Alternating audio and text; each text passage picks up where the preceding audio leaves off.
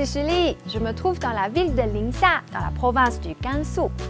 Le nom de la ville vient de sa situation géographique et signifie littéralement au bord du fleuve Daxia. Alors, qu'a-t-il de particulier à voir dans cette ville?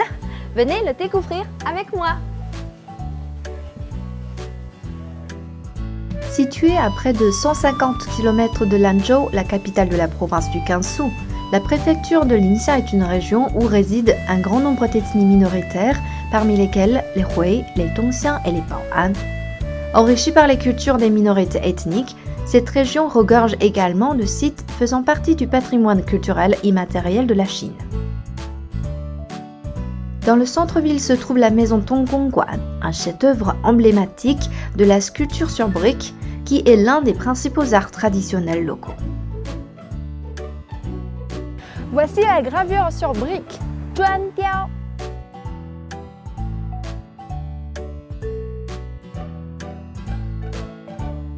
La gravure sur briques de Lingxia date de la dynastie des Song. Combinant des techniques issues de différentes formes d'art, la gravure sur briques requiert un travail d'une grande délicatesse. Son processus de fabrication est très complexe.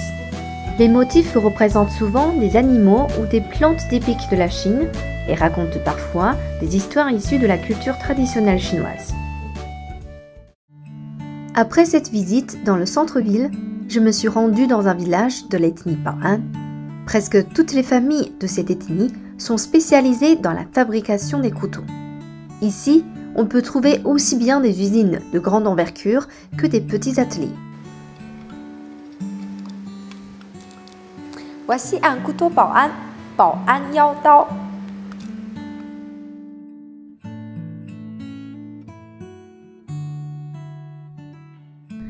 Ces couteaux sont divisés en une vingtaine de catégories différentes en fonction de leur taille et de leur usage.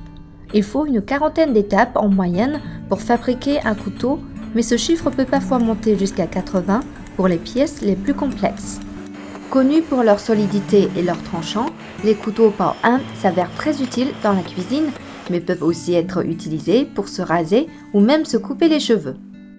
En plus d'être des accessoires utilisés régulièrement dans la vie quotidienne, ils sont aussi souvent offerts en tant que cadeau au sein d'un couple ou entre parents et enfants. Durant mon séjour à l'INSA, j'ai pris l'habitude de déguster le thé local lors de chaque repas. On y ajoute de nombreux ingrédients comme du sucre candy, des baies goji, des jujubes, des longanes, des noix et des raisins secs. On le surnomme le thé aux huit trésors.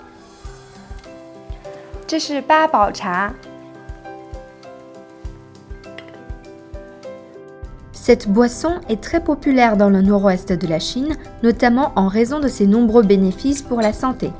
Le thé aux huit trésors permet par exemple de faire baisser la température de certaines parties du corps ou encore de maintenir l'humidité des poumons, autant de concepts importants dans la médecine traditionnelle chinoise.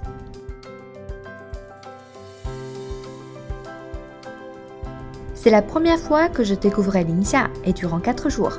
Même comme ça, ce n'était pas suffisant pour tout visiter. J'espère pouvoir revenir très bientôt.